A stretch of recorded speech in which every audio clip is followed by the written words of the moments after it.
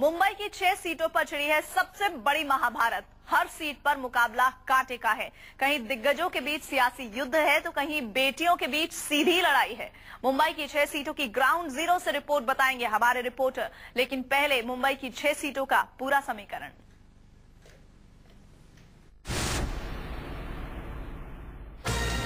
माया नगरी मुंबई की छह लोकसभा सीटों पर छिड़ा है महासंग्राम। सभी छह सीटों पर है कांटे की टक्कर।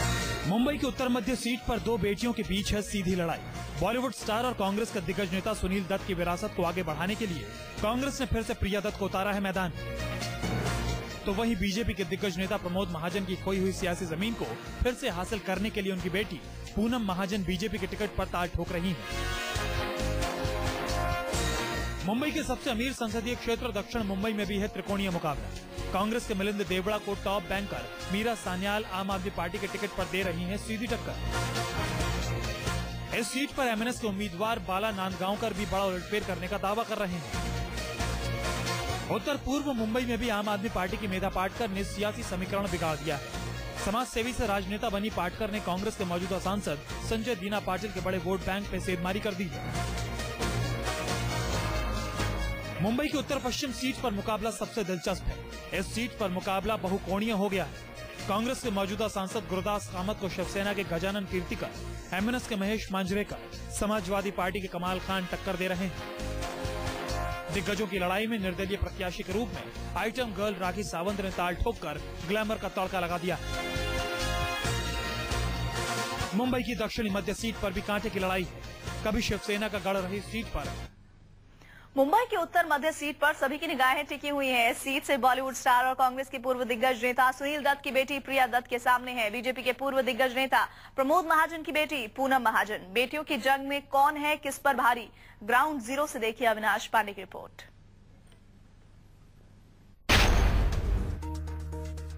आज हम जानने निकले हैं नॉर्थ सेंट्रल मुंबई कॉन्स्टिट्यूएंसी में कि यहाँ की पब्लिक क्या सोचती है।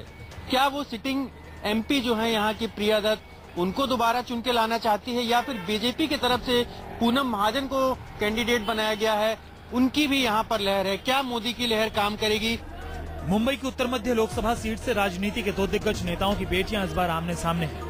कांग्रेस ने यहाँ की मौजूदा सांसद प्रिया दत्त को फिर से टिकट दिया है। तो बीजेपी ने दिग्गज नेता रहे प्रमोद महाजन की बेटी पूनम महाजन को टिकट देकर बीजेपी ने यहाँ पर मुकाबला दिलचस्प बना दिया है।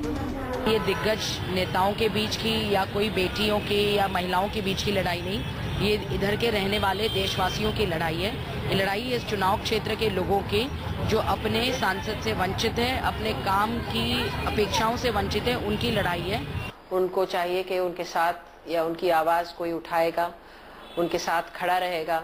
और बहुत इश्यूज़ हैं, जिसके लिए मैंने हमेशा मेरी आवाज़ उठाई है। और बहुत इश्यूज़ ऐसे हैं, जिनके साथ जिनके लिए मैं बिल्कुल निडर होके खड़ी रही हूँ। क्योंकि ये मेरे बिलीव्स हैं, मेरे प्रिंसिपल्स हैं। छह विधानसभा सीटों को मिलाकर उत्तर मध्य मुंबई लोकसभा सीट बनी है। इसमें बांद्रा पूर्व, बांद्रा पश्चिम, विलेपार्ले, चांदीवली, कुरला और कलीना। फ़िलहाल इन छह सीटों में से पाँच पर कांग्रेस का कब्जा है, जबकि एक सीट एनसीपी के खाते में है। पिछले लोकसभा चुनाव में सीट पर लगभग सत्रह लाख मतदाता थे। वोटों के समीकरण की बात करें तो सीट पर मराठी, उत्तर भारतीय और मुसलमानों का वोट सबसे ज़्यादा है। इस सीट पर मुसलमानों का वोट निर्णायक माना जाता है। इन वोटरों को लुभाने के लिए सभी पार्टियाँ लगी हुई। हैं। यहाँ के मतदाताओं के मन में क्या चल रहा है ये तो 16 मई को ही पता चलेगा। लेकिन स्थानीय मुद्दे सीट पर वोटों का गणित बिगाड़ सकते हैं। आना चाहिए उनको देखना चाहिए कि हाँ क्षेत्र में क्या कमी है क्या नहीं है तो मालूम पड़ता है ना। यहाँ पे बहुत इतना काम किया है सार उन्नत पुल का काम किया है सार इतना मिलन सभ्य का काम किया है। इन इलाकों में अभी भी लोगों को बुनियादी सुविधाएँ पूरी तरह से नहीं मिल पाई हैं। अभी भी लोग गंदगी और बदहाली में जीने को मजबूर हैं। ये मुद्दा इस बार चुनाव में बड़ा मुद्दा बन सकता है। बांद्रा की झोपड़ पट्टियों से निकल करके इस वक्त मैं बांद्रा वेस्ट के इलाके में मौजूद हूँ और यहाँ पर तमाम रईस लोग रहते हैं। रईस लोगों का यहाँ पर बसेरा है यहाँ पर सलमान खान रहते हैं यहाँ पर शाहरुख खान रहते हैं मास्टर ब्लास्टर सचिन तेंदुलकर इसी इलाके में रहते हैं। मुंबई की इस हाई प्रोफ़ाइल सीट पर कांटे की टक्कर है। प्रिया दत्त के लिए थोड़ी दिक्कत ये है कि जेल में होने के कारण उनके भाई संजय दत्त उनके चुनाव प्रचार में शामिल नहीं हो पाएँगे। पिता की विरासत को आगे बढ़ाने के लिए लड़ रही प्रिया दत्त और पूनम महाजन में से किसे कामयाबी मिलेगी, इस पर सबकी नज़र टिकी हुई है। मुंबई की उत्तर मध्य सीट से अविनाश पांडे, न्यूज़ 24 मुंबई की नॉर्थ वेस्ट सीट पर भी मुकाबला बेहद दिलचस्प है। बहु कोणीय मुकाबले में आइटम गर्ल राखी सावंत ने भी निर्दलीय प्रत्याशी के तौर पर एंट्री मार ली है। क्या है सीट का हाल, बता रहे हैं संवाददाता संकेत पाठक। नमस्कार, मैं हूँ राखी सावंत। और सबको बताना चाहती हूँ कि मैं इस साल लोकसभा चुनाव लड़ रही हूँ। मेरी कॉन्स्टिट्यूंसी है नॉर्थ वेस्ट और मैं यहाँ से खड़ी हो रही हूँ। आइटम गर्ल राखी सावंत के ऐलान के बाद मुंबई की उत्तर पश्चिमी लोकसभा सीट पर लड़ाई दिलचस्प हो गई। कांग्रेस ने सीट से अपने मौजूदा सांसद गुरुदास कामत को मैदान में उतारा है। इस वक्त मैं मौजूद हूँ नॉर्थ वेस्ट मुंबई की लोकसभा सीट से, जहाँ से उम्मीदवार है कांग्रेस के कद्दावर नेता गुरुदास कामत। आप देख सकते हैं कि वहाँ पर उनका रोड शो चल रहा है। जो चुनाव प्रचार है, वो अपने पूरे चरम पर है और अब देखना ही होगा कि जो समर्थन है वो गुरुदास कामत को इस बार मिलता है या नहीं? शिवसेना ने गजानन कीर्तिकर को टिकट दिया है। तो एमएनएस ने डायरेक्टर महेश मांजरेकर को टिकट देकर मराठी कार्ड खेला है। मुस्लिम वोटरों की अच्छी तादाद होने की वजह से समाजवादी पार्टी ने भी यहाँ से कमाल खान को मैदान में उतारकर ग्लैमर का तड़का लगा दिया है। वहीं आम आदमी पार्टी ने साफ़ सुथरी छवि के मयंक गांधी को टिकट देकर लड़ाई में नया पेज फंसा दिया है। बहुकोणीय लड़ाई में राखी सावंत भी कूद पड़ी है। जो नॉर्थ वेस्ट की जनता है जो यहाँ के उन्होंने मुझे ज़बरदस्ती पकड़ के खड़ा किया और कहा कि आपको हमारे लिए लड़ना है। इसलिए मैं उनके लिए चुनाव लड़ना चाहती हूँ। अपने प्राण देकर भी मेरी जनता के लिए, मेरा जो एरिया है, जो मेरी कॉन्स्टिट्युएंसी है, मेरे जो लोग हैं यहाँ के, उनके लिए मैं पूरी कोशिश करूँगी उनका हक दिलाने के लिए। बहुकोणीय मुकाबले में ताल ठोंकने के लिए हर पार्टी मैदान में कूद चुकी है। मायानगरी मुंबई में भी चुनावी पारा चढ़ चुका है। हर उम्मीदवार मतदाताओं तक पहुँचने के लिए जी जान से जुट चुका है। इस वक्त मैं मुंबई नॉर्थ वेस्ट सीट से उम्मीदवार गजानन कीर्तिकर की रैली में हूँ, जो कि लगातार मतदाताओं से संपर्क बनाए हुए हैं और आप रैली का नज़ारा देख सकते हैं हम पूरे समय, उनके साथ मौजूद रहेंगे और जानेंगे कि आखिर किस तरीके से गजानन कीर्तिकर जो कि एनडीए और शिवसेना के उम्मीदवार हैं, वो कैसे मतदाताओं तक पहुँचते हैं, किस तरह की तकनीक का इस्तेमाल करते हैं। फ़िलहाल यहाँ पर कड़ा मुकाबला कांग्रेस और शिवसेना के बीच में ही है, लेकिन अगर आम आदमी पार्टी और मनसे ने ज़ोर लगाया तो लड़ाई बेहद दिलचस्प हो सकती है। मुंबई की उत्तर पश्चिमी सीट से संकेत पाठक, न्यूज़ 24 मुंबई की दक्षिणी सीट को सबसे अमीर सीट भी कहा जाता है। इस बार क्या है? इस सीट का सियासी समीकरण बता रहे हैं विनोद जगदाले। मुंबई का साउथ मुंबई लोकसभा चुनाव क्षेत्र मुंबई की पहचान दर्शाता है। भारत के सबसे ज़्यादा धन कुबेर इसी चुनाव क्षेत्र में रहते हैं। एक जमाने में ये शिवसेना बीजेपी का गढ़ हुआ करता था, लेकिन पिछले दस सालों से यहाँ पर कांग्रेस का उम्मीदवार दिल्ली जा रहा है। दक्षिण लोकसभा सीट को मुंबई की सबसे हाई प्रोफ़ाइल सीट भी माना जाता है। साल 1999 में सीट से बीजेपी उम्मीदवार जयवंती बेन मेहता ने कांग्रेस के मुरली देवड़ा को पराजित किया था। लेकिन यहाँ पर पिछले 10 साल से कांग्रेस का कब्जा है। इस सीट से मुरली देवड़ा के बेटे मिलिंद देवड़ा सांसद है। साउथ मुंबई लोकसभा क्षेत्र में सबसे तीन अहम वोट बैंक के फैक्टर है, उसमें है गुजराती, अल्पसंख्यक और मराठी। मराठी वोट बैंक इन दोनों के मुकाबले जरा ज़्यादा है। और इसी मराठी वोट बैंक में फूट के चलते 2009 के लोकसभा चुनाव में मिलिंद देवरा को भारी वोटों से जीत हासिल हुई थी। महाराष्ट्र नवनिर्माण सेना ने एक बार फिर सीट पर उम्मीदवार उतारकर शिवसेना की राह कठिन कर दी शिवसेना ने अरविंद सावंत को टिकट दिया है। तो राज ठाकरे ने बाबा नान नानडोंकर पर दाव लगाकर मराठी वोट बैंक में सेंधमारी की है।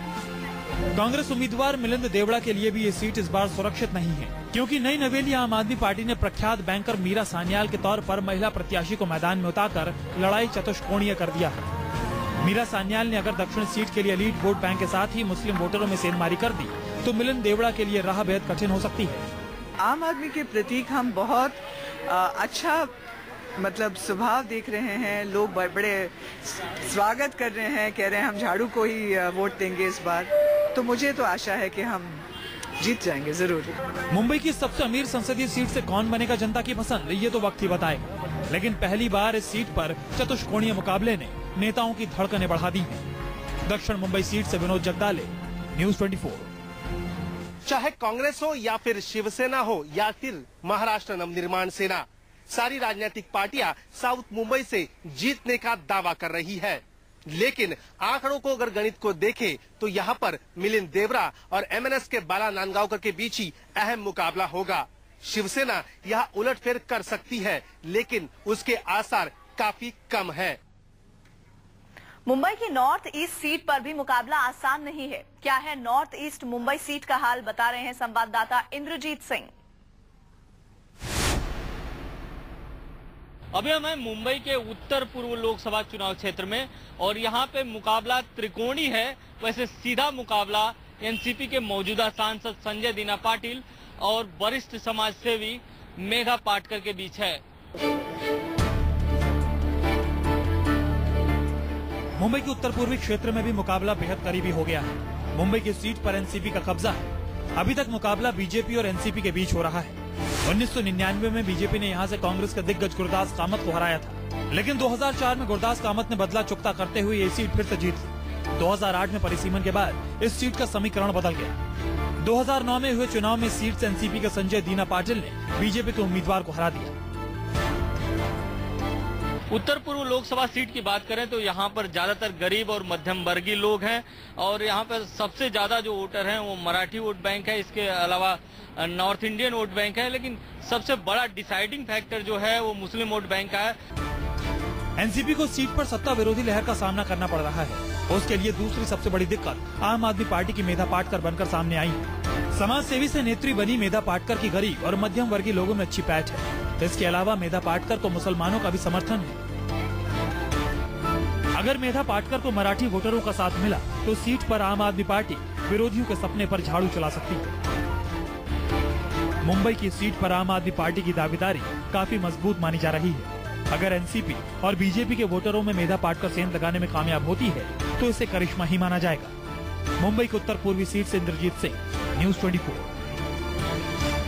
इस वक्त मैं मुंबई के दक्षिण मध्य लोकसभा क्षेत्र में मौजूद हूँ। यहाँ से कांग्रेस के मौजूदा सांसद हैं एकनाथ गायकवाड़, जिनको टक्कर देने के लिए शिवसेना ने राहुल शिवाले और एमएनएस ने आदित्य शिरोडकर को मैदान में उतारा है। देखना दिलचस्प होगा कि शिरोडकर और शिवाले गायकवाड़ को चुनौती दे पाते हैं या एक बार फिर एकनाथ गायकवाड़ हैट्रिक से बाजी मारेंगे।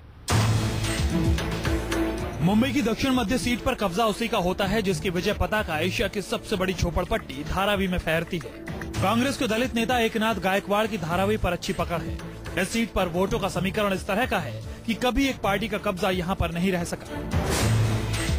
धारावी का इलाका 535 एकड़ में फैला एक बड़ा इलाका है। जहाँ अगर जनसंख्या की बात करें तो 10 लाख से अधिक लोग बताए जाते हैं, इस पूरे स्लम में रहते हैं। वहीं अगर वोटर्स की बात करें तो तकरीबन दो लाख वोटर्स यहाँ रहते हैं। अगर धर्म के आधार पर वोटर्स की बात करें तो तकरीबन 33 परसेंट मुसलमान वोटर है, वहीं 60 परसेंट हिंदू वोटर है। 60 परसेंट हिंदू वोटर्स में से 20 प्रतिशत बीस प्रतिशत जो लोग हैं, वो गायकवाड़ कम्युनिटी से आते हैं या जिसे कहें कि दलित कम्युनिटी से आते हैं, जो कि बहुत बड़ा वोट बैंक है। मुंबई की दक्षिणी मध्य सीट पर 1999 में शिवसेना के मोहन रावले ने जाने माने क्रिमिनल वकील और समाजवादी पार्टी के उम्मीदवार माजिद मेनन को हराया था। 2004 में शिवसेना ने एक बार फिर से इस सीट पर कब्जा जमाया। लेकिन 2009 में परिसीमन के बाद इस सीटों पर वोटों का समीकरण बदल गया। 2009 में कांग्रेस के एकनाथ गायकवाड़ ने शिवसेना को हरा दिया। इस बार इस सीट से कांग्रेस ने फिर से गायकवाड़ को टिकट दिया है।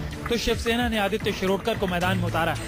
शिवसेना के लिए मुसीबत ये है कि एमएनएस ने भी सीट से राहुल शेवाले को उतारकर मराठी वोट बैंक में